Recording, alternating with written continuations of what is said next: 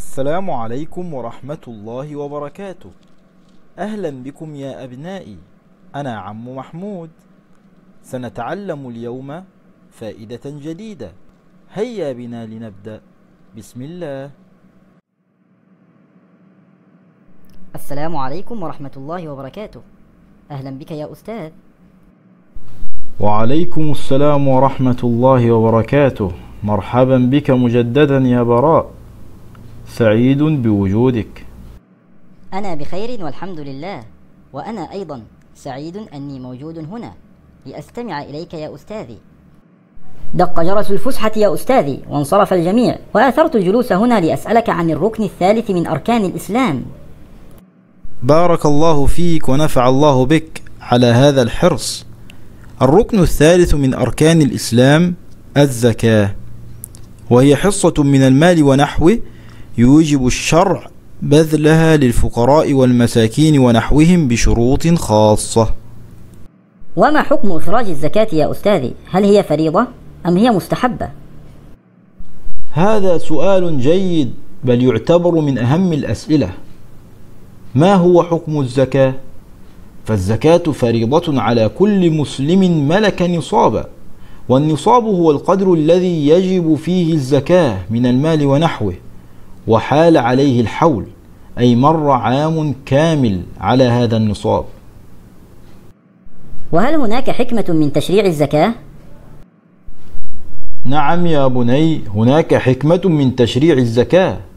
أولا تزكية نفس المؤمن. ثانيا مواساة الفقراء والمحتاجين. ثالثا جمع القلوب المشتتة على الإيمان والإسلام. رابعا تطهير المال. خامسا إشاعة روح التكافل والمحبة بين أفراد المجتمع. وما هي شروط وجوب الزكاة؟ نعم هناك شروط لوجوب الزكاة. فتجب إن توفرت عدة أمور. أولا الإسلام فلا تقبل من كافر أو مرتد. ثانيا بلوغ المال النصاب. ثالثا مرور حول كامل على المال. رابعا بأن يكون هذا المال تحت تصرف صاحبه. هذه هي شروط وجوب الزكاة. وما هي طبيعة الأموال التي تجب فيها الزكاة؟ هذا سؤال جيد يا براء. ما هي الأموال التي تجب فيها الزكاة؟ أولا الخارج من الأرض من الحبوب والثمار والمعدن. والثاني الذهب والفضة والأوراق النقدية. الثالث عروض التجارة وهي كل ما أعد للتكسب والتجارة من عقار وحيوان ومحلات وغيرها. والرابع بهيمة الأنعام مثل الإبل والبقر والغنم.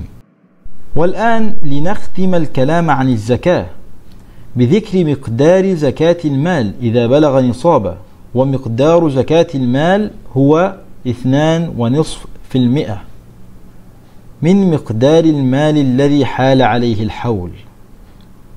بارك الله فيك يا براء ونفع الله بك. هيا لتذهب إلى فناء المدرسة قبل بداية الحصة الثانية حتى تلعب مع أصحابك وتقوم بالإفطار. أستودعك الله. والسلام عليكم ورحمة الله وبركاته.